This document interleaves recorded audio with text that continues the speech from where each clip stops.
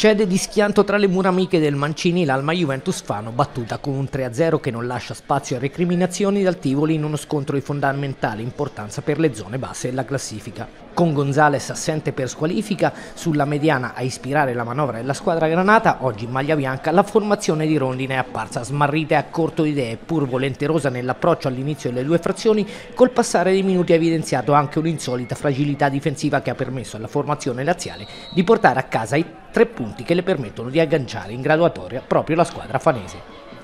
Con Padovani e Cardinale in panchina, dopo una settimana passata a combattere con i fastidi fisici, il tecnico di casa sceglie Zanni per sostituire il regista argentino e in avanti propone il duo Tencorang-Brunetti, mentre all'altra parte il neo allenatore Granieri, arrivato sulla panchina del Tivoli da dieci giorni, rinnova tra i pali la fiducia a Zappalà, direzione di gara affidata al fischietto toscano Nencioli.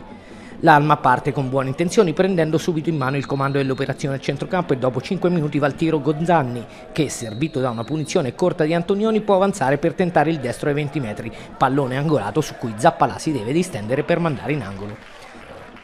Resterà a lungo questa l'unica occasione della prima frazione dei padroni di casa che col passare dei minuti mostrano geometrie troppo prevedibili per impensierire la decisa difesa ospite che riesce a evitare i rischi e prende coraggio superata la mezz'ora affacciandosi in avanti con un paio di puntate offensive che creano affanno alla retroguardia di casa che al 35 si fa sorprendere sulla discesa a destra di Jürgens che dal vertice destro lascia partire un cross preciso per Maurizi che all'altezza del primo palo schiaccia bene di testa infilando il pallone alle spalle di Visco vescovo per il vantaggio.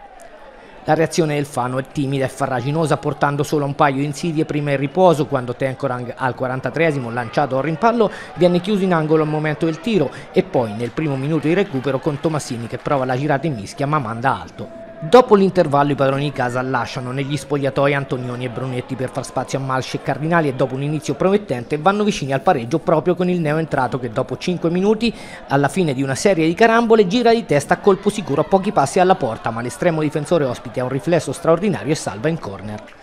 L'Alma prova ad insistere ma il Tivoli si compatta bene e lascia pochi varchi alla manovra di Urbinati e compagni che col passare dei minuti perdono la determinazione dell'inizio concedendo spazio alle ripartenze ospiti al diciannovesimo subiscono il raddoppio quando su una rimessa laterale da destra Maurizi riesce a tenere in campo il pallone prima che termini sul fondo servendo all'indietro il neoentrato De Marco che dal vertice dell'area piccola piazza la zampata del 2-0. La reazione dei padroni di casa è timida e poco convinta, il Tivoli controlla e al ventottesimo mette al sicuro il risultato con la rete di spirito, anche lui appena entrato che approfitta delle incertezze della difesa di casa per fissare il punteggio sul 3-0